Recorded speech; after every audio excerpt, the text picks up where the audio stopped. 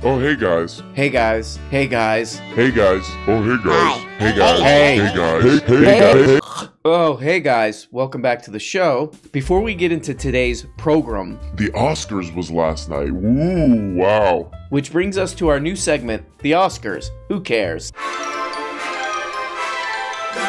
Let's see who won Best Picture. Everything all the time, uh, do what you want. Best Actress, Michelle Yeoh. Everyone, everywhere, all the time. Everything all the time. Everything all the time. Everyone everywhere all the time. This now concludes the Oscars. Who cares? Well, anyway, guys, this weekend I opened up an application on my mobile phone. It's called Twitter. You know, not the be- not the best name. But I open up this application and I see one of my favorite content creators. Her name is Michaela J. Speeder. Michaela J. Peterston. Peterston. Peterstone. She's the daughter of Jordan J. Speederman. And uh, this has all been deleted now, but I, th- I thought this was, I was like, ooh, something is interesting here. She goes, Dad, Dad, caps lock, Dad, caps lock. You can't retweet this on Twitter. My eyes will never recover. Oh, God. Oh, God. I wonder what it was. Uh, I, so I can't show this, and it's since been deleted, but over the weekend, Jordan J. Speederman tweeted, such fun and unbelievable techno nightmare Chinese Communist Party hell. He retweeted some weird account that only grandpas find on social media. And the account was saying, What's going on in China? Three children policy? Warning, graphic pictures. And then it posted pictures that turned out to not be the Chinese Communist Party. They actually were not from anywhere in China, they were from the UK, and they were from a BDSM male milking. They were from a male sniffing. du- they were from a m- male milking dungeon, so you can imagine what those pictures might look like. Uh, this is some kind of fetish kind of thing. Doing that. And that. So just to be 100% clear, Jordan Peterson just retweeted a video of a BDSM quote male milking dungeon in the UK claimed to be footage of human uh, human rights abuses in China. So keep in mind what we just saw there. What just happened? This guy Jordan Peterson, he sees he sees something that's obviously fake on Twitter. Oh, gotta tweet me. Gotta retweet this. Gotta retweet this to my average age 14 fans. Keep that in mind. What we just saw while we watch the intro to this Daily Wire Jordan Peterson video. You should accept yourself just the way you are. Oh. What does that say about who I should become? Is that just now off the table because I'm already good enough in every way? Oh, So am I done or something? Amazing. Get the hell up. Get your act together. Adopt some responsibility. Put your life together. Develop a vision. Unfold all those manifold possibilities that lurk within. Be a force for good in the world, and that'll be the adventure of your life. oh my. Oh my god. Oh my god. So profound. The prof- I can't. Was that ter- was that a clip from Terrence Malick's Tree of Life? I can't. Oh, I can't even see too good on that one. Oh, it's so breathtaking, guys. Take a rest now. Oh, the splendor and majesty, the splendor and majesty and profundity of a guy who, you know, the same day that video was uploaded, he's like, China has milking facilities. China has milking facilities. Guys, milking facilities. Listen to me. So if you're just somebody who's having a little bit of an attitude on Twitter, like many of us, you know, you look at this and you go, ah, look at this. Oh, you, we all make fun of the old man, the old man with dementia. We, ah, look at grandpa. Grandpa's making another mistake. Oh, Grandpa can't find his medicine. you know, we all have a good time with that. But I was wondering, some of his fans, average age, what, 13, 12, see this. Uh, what do they think? So I went to the Jordan Peterson Reddit, backslash Jordy P. So it looks like Jordan Peterson has just quote tweeted fetish porn because he thought it was footage of a Chinese breeding facility. He thought it was this. Why do you guys continue to take him seriously? okay, so this is one of his fans responding. Why would we shut down someone intelligent who is valid 90 90 plus percent of the time? I wonder where they got that figure. We are not the hate filled cancelers in this scenario. and then uh, somebody responds to him, and this has one. It says one. This has one down vote. He saw an image of white guys with mechanical fleshlights stroking their with a matrix green filter overlaid on top of it, and thought, "Yeah, seems like a CCP facility to me." That doesn't read as someone who is very intelligent. You know, you know. Also, very glad Mickey Peterson stepped in. His daughter, Michaela Peterson, stepped in on this one because, uh, you know, if the average age of your fan, you know, your devoted follower is what, 15, 14, whatever. If a lot of the people following you are minors, you might want, not want to tweet out pornography. Jordy Peterson. That's a little that's a little of what we call a pervert alert. Pervert alert. Pervert alert. Okay, but here's the thing about this weekend and Jordy Peterson tweeting is that that one might not even be the funniest one. This next one, I saw a screenshot of it first. I was like, that's probably fake. There's no way. There's no way whatever that is is real. Somebody's g- giving Jordy a hard time. No, no, it's real. Here we go. He retweets an article from CNN and it says Women in Berlin can now swim topless in the city's public pools if they choose to. It's being hailed as a step forward for gender equality in the German capital. Okay, I would say who cares on that one. Here's Jordy. Absolutely. Abs- absolutely everything you do. Ah! Ah! CNN. At CNN! He ats CNN. So he's talking he's talking to CNN. Absolutely everything you do, CNN, is pathetic virtue signaling. Thank okay, here we go. Here where is where it gets real interesting. Thank God thank God Ni-. Thank God Nim- Okay, so he's he's under the influence, let's just say, it looks like here. So, Michaela, thank God thank God Nim- are nimbered. that was pretty great. yeah, this happens every time I do a video making fun of old Jordy Peterson. As I get this this thought pops into my head of oh, oh man, we're making fun of a demented old man. We're making fun of a troubled old Canadian. I picture Jordan Peterson at his laptop, you know, and somehow he's the light hits his screen and he sees his reflection. He's, ah! You know, like uh, here's another good one. He posted this two days ago. It's a picture of an Evian. It's a picture of an Evian bottle of a plastic bottle of water. It's a picture of a plastic water bottle. Okay, and he writes, "There are cathedrals everywhere for those with the eyes to see."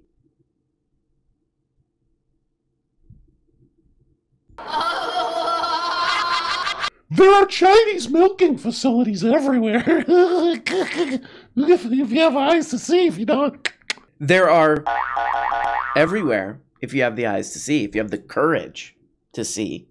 You piece of shit, you. Holy shit, here's another amazing one. Uh, so he tweets a picture of himself and it says, Twitter, Twitter suit.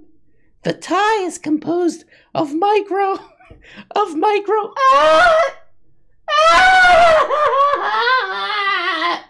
Elon at Elon Musk heads. The tie is composed of micro Elon Musk heads, as it should be. Okay. Okay, so remember everything we've seen so far, and then check out this thumbnail. what do you do? Ooh, oh, I'm looking into the eyes of the ancient times. Whoa, yeah. Okay, here we go with another Jordy tweet. And man, I, I would advise Jordy if you're worried. Oh, you're worried about the brainwashing from the CCP and the uh, the propaganda. Oh, their people. They try to brainwash their people and control them.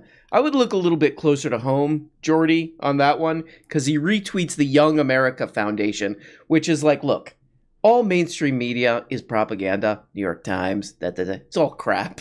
It's all crap. But there's even like a worse, more obvious version of this propaganda. It's called the Young America's Foundation. What does this say, man? Slam dunk Abby Roth. Abby, come on, it's Abby Shapiro. Obliterates the feminist obliterates the feminist revolution. Okay, that's a pretty. Oh, okay. Abby Shapiro does this. And this all over the feminist revolution. and then she looks at it and she says, Toilet. okay, that's enough. So we've established two things. Okay. One, the careerist idea of success and the so called freedom of singleness at the expense of family is a modern invention of the left as part of its attempt to destroy traditional values. okay. And two, Yeah. just like everything else concocted by the left, Yes. it gets human nature completely wrong. Absolutely. And will make you miserable if you believe in it. Now that I agree with. Armed with that information, the Yeah. next step is to prepare yourselves to deal with the pressure you'll be under to Oh. conform to this idea of success as you enter college and the real world. Right. Uh, let's just take a moment to appreciate that Ben Shapiro, he's trying to help his sister out, you know? He's like, hey, Hey! he's like, hey, get in on my grift. You know, he's trying to work her into the this scam, this money-making scam that he has going. It's almost insane enough to be kind of sweet. But anyway, to address what uh, Abby said there, um, these talking points sound a little bit old, even for a decrepit old dinosaur organization like the Young America's Foundation. We get it. Abby Shapiro's trying to get a career. She's trying to tap dance her little way into a career, you know. But uh, even even one of the most pop, the most popular, well-known mainstream leftist, Bernard Saunders, he goes like this a lot. It is a little bit weird. Okay, thank you. He's always dr- droning on and on in ad nauseum about Working, working families, blah blah blah. working families are struggling, blah, blah, blah. He's always talking about families, this and that. Families don't have enough money. You know, it's too expensive to have a kid. Families, families, families with old Bernard Saunders. That's the most well known leftist in the country. And then you go, you know, and then you go like one level down, you know, a guy. A guy who runs an organization that actually writes policy for Bernard Saunders, Matt Bruenig, and the People's Policy crap, whatever that thing's called. You know, it's all, oh, there should be more resources for families. Uh, there should be a child uh, credit. You know, there should be, you know, you should get money, you should get paid time off, you should do all these things that would encourage and help uh, people who want to have families. So it's really, it's actually the opposite. It's only the left who are like in, trying to encourage people to have families.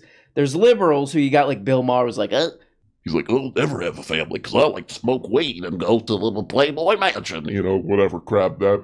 whatever crap that dope is doing, you know. I like to smoke weed in Amsterdam. you know, whatever that moron's doing. You know, and then there are right wingers. then there are right wingers who want to put your kid to back to work, who want to roll back child labor laws so they could throw your kid into what, like a mine or something? They could throw your kid's little ass to work in a factory. The only, really, the only people who seem to give any kind of a crap about family or kids are definitely what we would call the left. Bernard, all these people. And worst of all this, Abby Chapinio does not have it. She does not have it. I'm sorry. But you do not have what we call in the business. Abby, you do not have in what the business of show what we call it. It's called charisma. Ever heard of it? You need a dose of it, that's for sure. It was never the case that men somehow uniquely benefited from the soulless careerist pursuit of money and status without room for God, love, family, and community. Okay.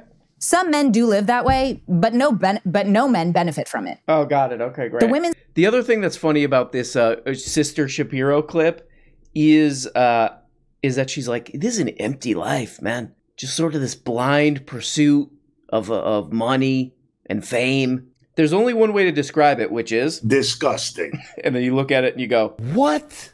This empty careerism is truly disgusting." And and it's like, well, Abby, what are you what are you doing exactly? What more of an empty pursuit of money is there than oh yeah, I'll repeat these uh, old aged uh, stupid make no sense talking points for money and to build my uh, conservative uh, brand uh, that my brother has profited off of. Uh, yeah. Yeah, but you don't do this. you don't. It's empty. The thing that I'm doing. Okay, moving along in the crazy grandpa tweet party. Uh, this this one's amazing. This one's great. Jordy retweets uh some somebody, and it says, "Take notes, take notes." Hashtag go woke, go broke. Hashtag climate scam. Jordy retweets this, and it's a guy who screenshot. This is topical. This is Silicon Valley Bank, which has collapsed.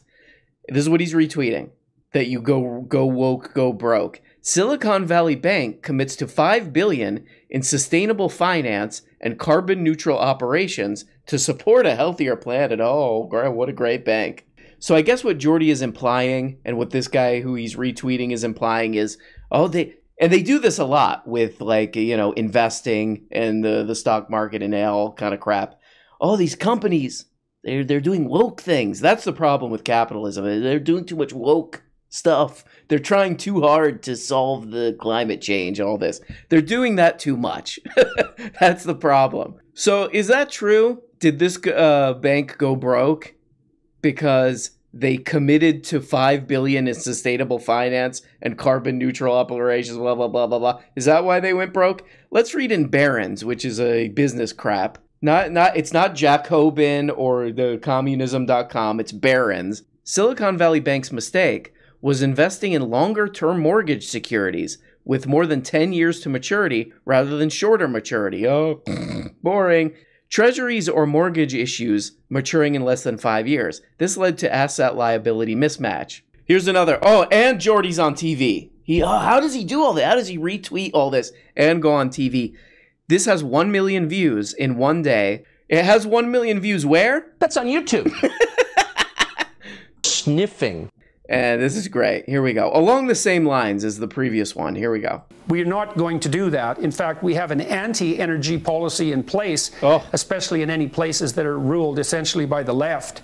And the consequence of that is. Uh, Where would well, those I places Sought it, Where would those places be that are ruled by the left exactly? and the consequence of that is. Canada? Uh, well, I just saw today UNICEF just released a report showing that there's been a 25% increase in the last year and a half in the number of women and children that are starving around the world. It's a direct consequence of the increase in energy prices, which are in themselves a direct consequence of anti industrial policies put in place by hypothetically well meaning, deluded, pseudo religious environmental worshippers of the apocalypse. It's it's an appalling situation. Tuck. and it's- Even Tuck's It's like even Tuck's got to do a little bit of that on that one. So I guess Jordan Peterson's kind of talking about the uh, European energy crisis here. I'm not going to go into a whole boring, insufferable thing about that. But uh, I just like it, it's actually interesting. You could read about it. Of course, Jordan Peterson has no idea what he's talking about, but you know, Jordan Peterson wants people to think about the world in a more adult, you know, oh, oh grow up, grow up, clean your room and grow up and think about things like an adult. But uh, what's the explanation for a, an energy crisis in Europe? Uh, environmentalists. Environmentalists. They're a cult. That's kind of interesting. I did not know this. They're vir- they're environmentalists. They're a cult, and they run everything. Okay. Last but not least, in our tour of making fun of Grandpa, you know, he's having a hard time. Give him a break. I was looking around and I found this on a subreddit that mostly makes fun of Jordan Peterson called Enough Peterson Spam. It's really funny. You should go check it out. But somebody found this. I don't know how they found this. It's kind of amazing. You know, Jordy Peterson, he's a big figure. I mean, look at this. A million views in one day for this uh, piece of crap, this absolute piece of turd. Million views in one day, Tucker Carlson. So he's still a big figure. He's still a big uh he's still a big political figure and public intellectual. And somebody dug this up, which I thought was really funny before he was famous. Before he was famous. Check this out. This is pretty uh fa- this is pretty funny. And you cannot believe anything on Reddit. So I had to like click into this and be like, is this real? And this looks legit so far. Peterson exposed by courts as a sham expert as a sham expert witness in 2009 and 2012. This is so funny. I, I love stuff like this. And I and I don't totally blame Peterson trying to get in to make some money or whatever from this. Here are some snippets in the judge's conclusions uh, about Jordy Peterson. So the judge is talking about a report uh, that Jordy wrote, and this is what the judge says about it. It comes as close to quote junk science unquote as anything that I have ever been asked to consider. Here's the judge talking about another report that Jordy Peterson uh, brought to the court. It contains less than two pages of references to articles that Dr. Peterson found by doing an online search of online material on that topic. Dr. Peterson has no expertise in that area. So there we go. Old Jordy, he made it. You know, he was like, oh, maybe I can do some kind of court scam crap. And then now he's now he's got the he did it. He made it. He made it. Good for him. You know, he figured out something that worked to do this, to do to get this by doing this. Jordan Peterson, he's a very Weird. guy and always funny to make fun of, even though he's on the biggest cable news show, getting over 1 million views on the internet in one day. So, guys, it is Monday, and that does make us go.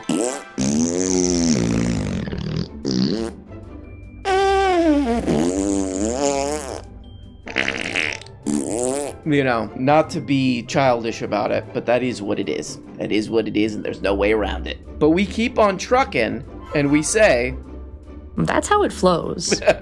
okay, it is. All right.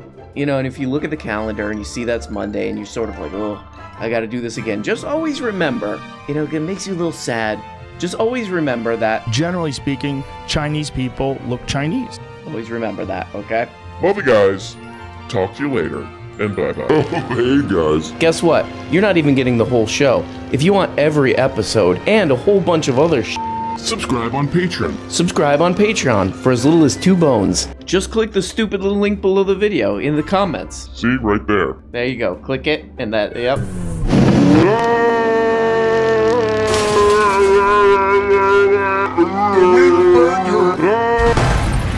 When you become a patron for as little as two bones, you get the Tuesday, Thursday patron only episodes. Ah!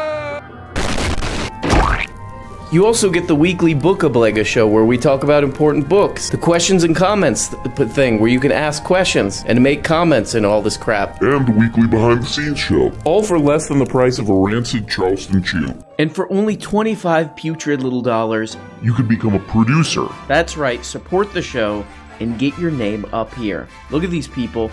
Look at these these people that make the show possible. Okay? God. I mean, without these beautiful people, this show goes straight into the dumpster. A rotten, you know, just wet, disgusting dumpster. You know, behind a restaurant. So it's there's old milk in there. That's where this show ends up without these people. Is that what you want? Okay, I guess it's okay. No, I guess it's what you want. I'll just leave. Nope, nope, nope. It's done. It's too late. Okay, okay. Here we go. Here's the dump truck. Here's the dump truck come to pick up the show. This is what would happen with no producers. Thank you.